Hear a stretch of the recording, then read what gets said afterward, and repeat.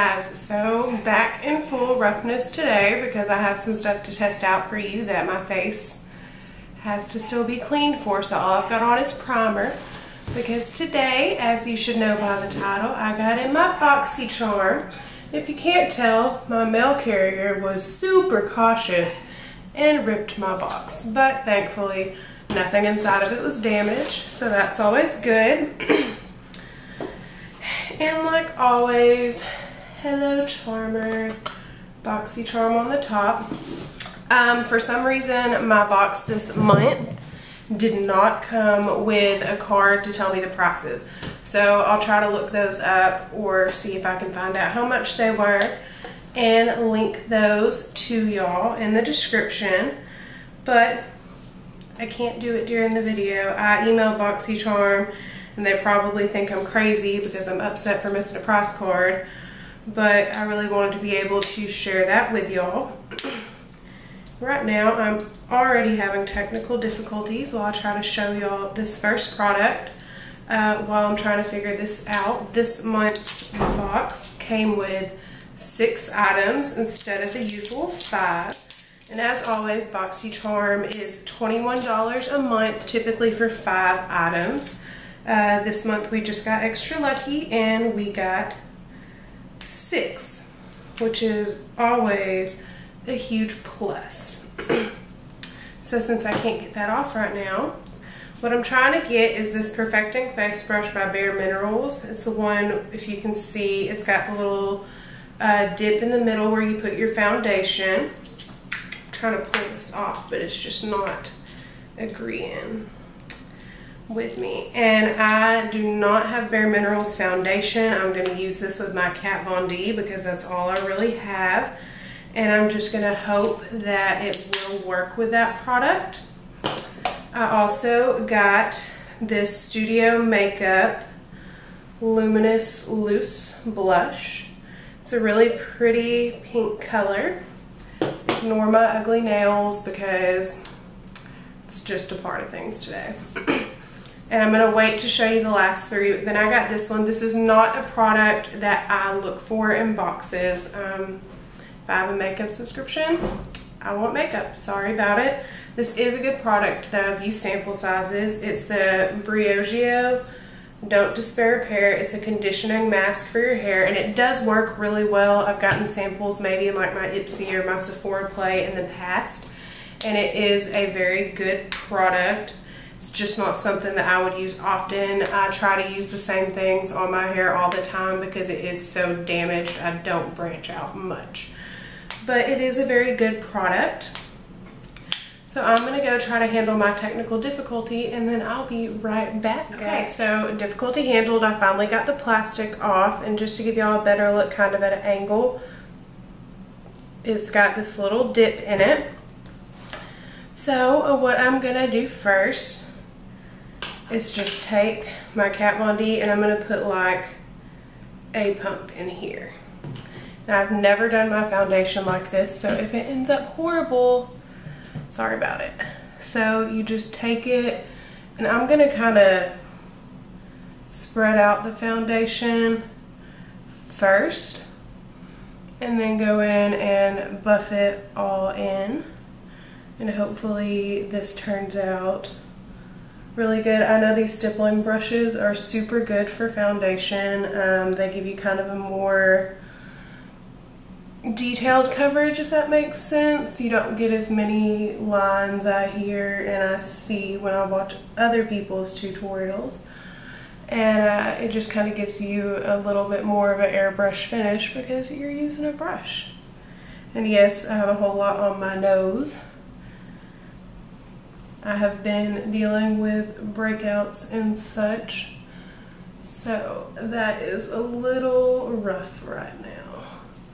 And I'm going to make sure that I get some on my eyelids because I'm not going to prime them today. Okay. so I think that did give me some really good coverage. It's definitely a good brush. It's got a good shape to it. It's kind of like a kabuki flat top, but it's just got that little dip so you can put your foundation in there. And I feel like I did get a lot more out of my foundation using that. I was hoping for that brush because I knew I was going to love it. So that's what I really wanted. Next, I'm going to go in, wait for it. We got a MAC product this month. It is an eyebrow pencil and spiked is what I got. And if I can get the top off without breaking it, let me see how you spin this out. I know everybody's been having trouble getting these to spin out the right way. Okay, there it goes. So it's just like this at the tip. So it's really fun. You have to grab it, for anyone having troubles, grab it at this middle part and twist really hard. You can feel like the ridges right here to kind of help you grab it. So we're gonna go ahead and try to fill in my brows, keeping in mind, this is a little dark for me, and that I am not very good at brows to begin with. That is also important. So if this turns out bad, not necessarily the product's fault, a lot of the time it is operator error because I am horrible at eyebrows. It's just a very real struggle I go through and I have so many bald spots I have to like create a whole brow on this side. So a lot of the time it does end up a little sketchier than I would like because I really have to try to get them even.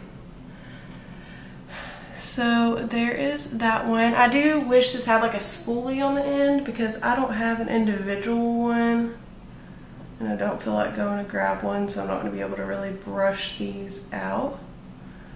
But other than that, this is really good. And I do know for sure, because I've been watching a lot of people's unboxings, uh, this retails for, I believe it was $18, which is almost how much you pay for the box. So, I mean, this is 18. I know this is like 20. Um, I think that brush is supposed to be like 25 or something. So you've like already you know, almost triple the value of what you actually spent on the box. Okay, so that's about as close as those are going to get. And I'm not even going to try to close that back up because that is so hard to twist. It does work. It's just really hard to get this to twist up. I don't know. Sometimes things are hard. Part of life. Okay, so the next thing we got, and I'm going to use my Holy Grail brushes for this. Oh, but I need one more. Mm. Hmm, this one. The next thing we got uh, is the biggest thing in here, and it is the Pur Cosmetics Soiree Dream Diaries. Well, Soiree Diaries. Um, it is a really pretty neutral palette. I actually opened it up earlier because I am so nosy and needed to see this. I left work to go get the package and come back to open it up to see what I got. Here's the colors. You got mattes on the top two rows and shimmers down here. And uh, I mean, these are just really pretty colors. So I looked at it and kind of toyed with some ideas and decided that I wanted to just try like a really nice smoky look for y'all. So I'm going to go in first with Mogul over here for my transition. And like I said, no eyeshadow primer today because I want to see what this palette does on its own. So I'm just going to take this and put it all over my lid and in my crease since I didn't put primer on here. And this should hopefully make things a lot easier to blend.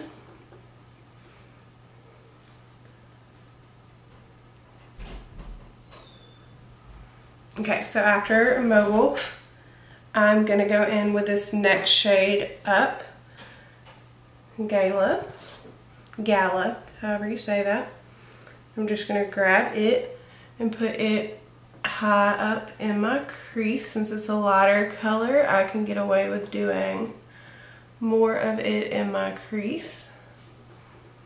And then just move over here and do the same thing and kind of blend it out. But since it's so light, there's not going to be any hard, harsh edges, really. I'm stuttering. Uh, but that's some really good pigment for such a light color. Just a little bit of fallout. Then we're going to go in here with Splurge. And we're just going to do the same thing with it. And just take and put it all up here. And I already know exactly what I want to do and y'all are just going to be like, oh Flo, you do the same look every time. And yes, BoxyCharm gives me a very similar palette every month. So I do indeed do similar looks, but for me, that gives me kind of a baseline to see how they perform. So if I do similar looks and I see that say maybe this one's going to turn out better than last month's did with the Rainforest palette, well, that's cool. Then I know that if I want to go for this beautiful smoky brown look, I'm going to grab for this one more often. okay, so now I'm going to reach in here for Snazzy. And I like that just because I like the name, even if I didn't like the color. I would like the name, but this is a really deep chocolate color. So I'm going to be a little more gentle with it. And I'm just going to go in a little lower in my crease, like right through here. And try to get this kind of, the deep smoky part. It's going to go right here. So we're just going to put that in there.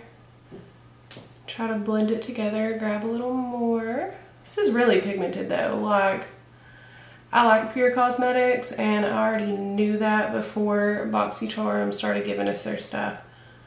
This is super pigmented. I've never really just tried their eyeshadows until now, but they are definitely worthy.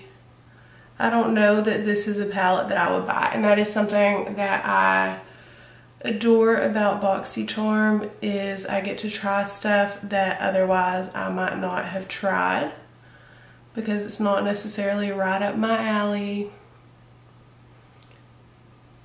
So let's just get a little bit more of this over here. That looks pretty good.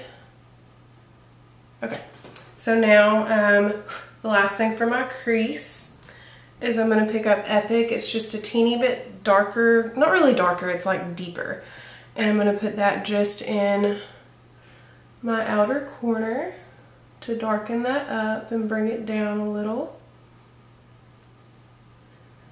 And see if I can blend it out and smoke it a little better. Yeah, that's good. And it does have fallout, like Right there you can see just a teeny bit, but it's nothing like dramatic at all. It's just a little bit of fallout and I mean, if you want your colors to be pigmented, I got bad news for you. If you hate fallout, they're probably gonna have fallout. It's just the reality of things. Okay, so now let's be basic.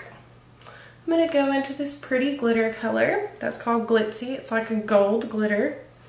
And I'm just going to pick this up on a flat brush and just pack it on.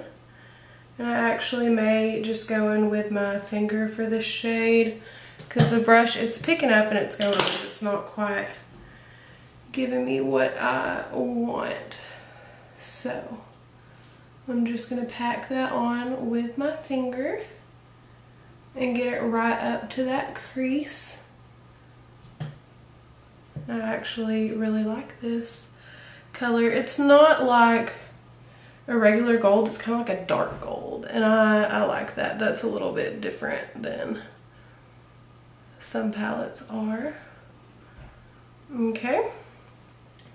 And we don't really have like a good inner corner color. There's not really just a lighter color of shimmer in here. So I'm going to grab a little bit of Twinkle that is right here. It's kind of different and I'm just going to pop that in my inner corner.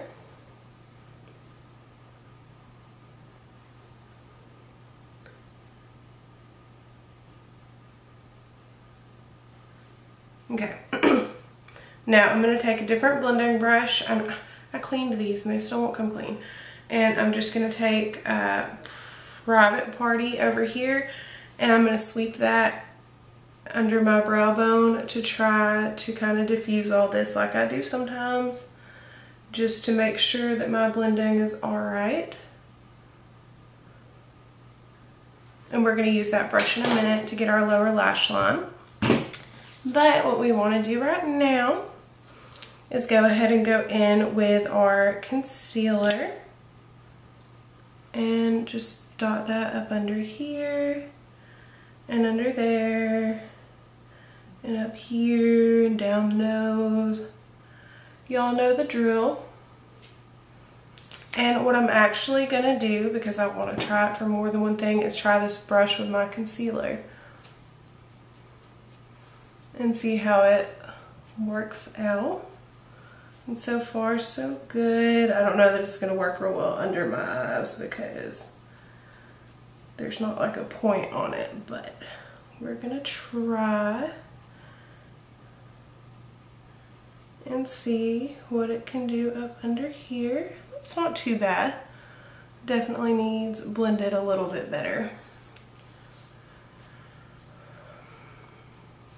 And I'm trying to see how this looks in the viewfinder too, because my lighting is not the best right now.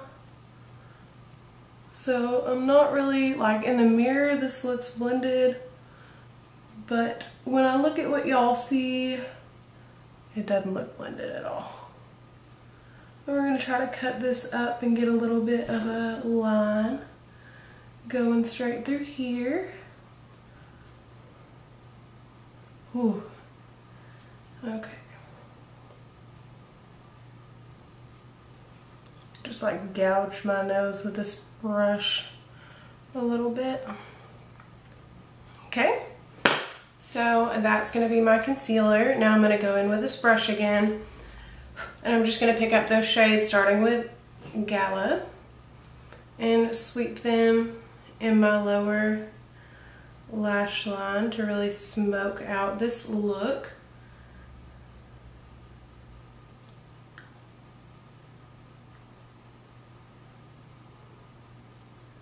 And this is just going to take a second because I got to go back in with a lot of colors. I'm actually thinking, because I don't want to go too crazy, I'm probably just going to do Gala and Splurge. And then really lightly use Epic and try to get it as close as I can to my lash line. So I don't want this to be too dramatic. Because like honestly y'all, I'm just about to take this back off and go to sleep. I just got this in and I had to film it and I got so excited and I just couldn't handle my life at all. So, okay, that's to be my eye look. And keeping in trend with all of these BoxyCharm products. I'm going to go ahead and use this to contour. We didn't get a contour this month. And this came out of BoxyCharm about three months ago, I think. And I'm going to use contour number two. It's like the medium contour in this palette. And I'm just going to drag a line through here. And to show you just how much I use this palette. I still haven't taken the plastic off the mirror, so that would explain why I looked a little hazy just then. So we're just gonna take this through here. And this isn't like a super dark contour, like I'm really pale and this medium shade is still just kind of not too dark, which is good for me, but I, I would assume if you were much darker, that would be a hassle. Because, you know, who wants to build up that many layers of contour?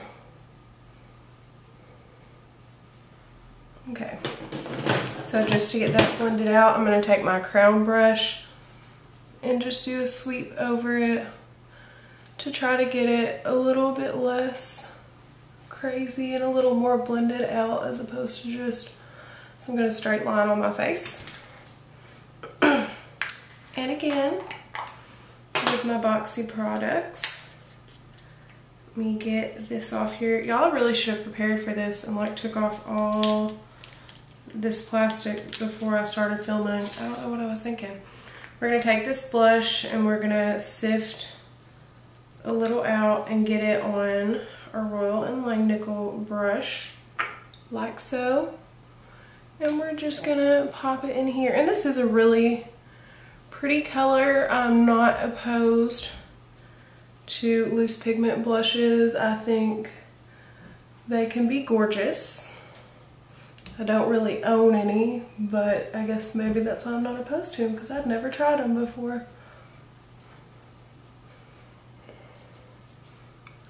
Okay.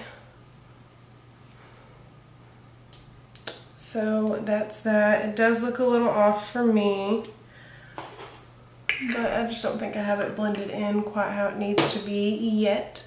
So let's see if I can blend it a little bit better here. That's better. Okay. so next, because I only have one product left to show y'all, I'm going to go ahead and pop on some highlighter. And I'm just going to use my Wet n Wild. This is in Precious Petals, I think. And I'm just going to pop some of that right here.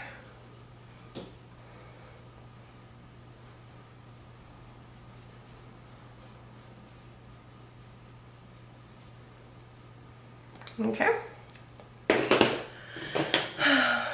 And I'm not going to do winged liner because this video is already super long. And I already know I'm going to mess it up. So we're just going to pop on some mascara. So I want to get as close to using like mostly what's in this box as I can. And there was not liner in the box. So, no liner. And this is just a Roller Lash by Benefit. And this has been my go-to because I find that a lot of mascaras for me, they just get clumpy. And when I'm ready to take them off they won't come off. And that is definitely an issue for me. I, I can't have that.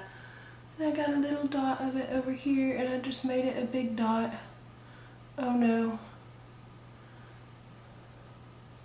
Okay. So the last thing is a $6 product. I do know how much this is because I have a horrible obsession with them.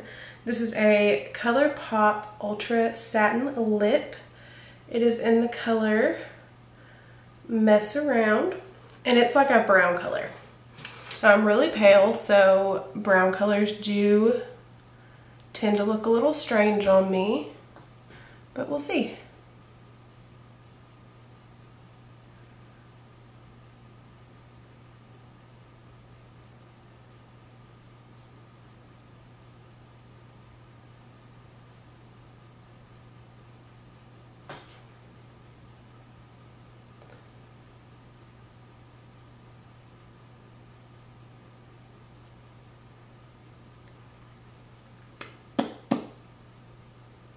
Not too bad. Uh, this is one of those things that kind of like, it washes me out. I'm pale. So dark lips on me can be a little sketchy. It's kind of hard to decide if I like them or not. But, uh, I mean, they're not bad. It's a good formula. It feels good. It's creamy. Um, I think it stays pretty well. Probably not as well as the matte lip. I've never had a satin lip before, so no promises. But with all my makeup done, it's not that bad. So, this is all the products I really liked this month. I'm even more excited for next month because, spoiler alert, we're getting a Becca highlighter, which is something that never in my life could I afford because $38 for one highlighter is way out of my price range. And I really wish it was champagne pop, but it's like pro something pop. It's one of the pop highlighters and I'm really hoping and praying for the press powder because I don't really use liquid highlighters. I've actually never used a liquid highlighter. So I'm praying for the press powder, but we will see. But that is this month.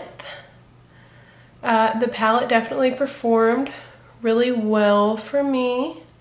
Uh, the eyebrow pencil was good, a little dark for my brows, but not bad. The lippy is really comfortable, not quite my color, but I like it. the blush is pretty, and this is a great product. Like I know I said I don't like it, but I have used it and it does make my hair feel amazing. So this is a really good product and a really good value to get in this box because it's worth $20 and you pay 21 and you still get all this other stuff. So basically, I think this month was a great box. Um, if you want to subscribe, my link down there. If I have a link, I don't know if I have one, but I'll put a link down there where you can go. Okay, so my camera cut off. It said, Florence, you've been recording too long. So this is the look. I hope you enjoyed it. Um, if you have any suggestions or anything you'd like to see or subscriptions you want me to try, as always, let me know in the comments. Be sure to subscribe. Uh, there's buttons everywhere telling you to subscribe right now. And I hope y'all have a great day. Bye, guys.